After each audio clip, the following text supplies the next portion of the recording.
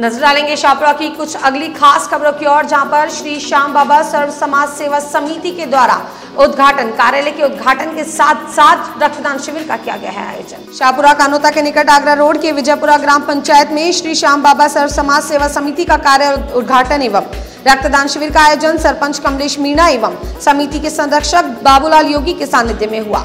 इस अवसर पर Arpan blood bank, monarch blood bank, Shubham blood bank ने अपनी सेवाएँ दी।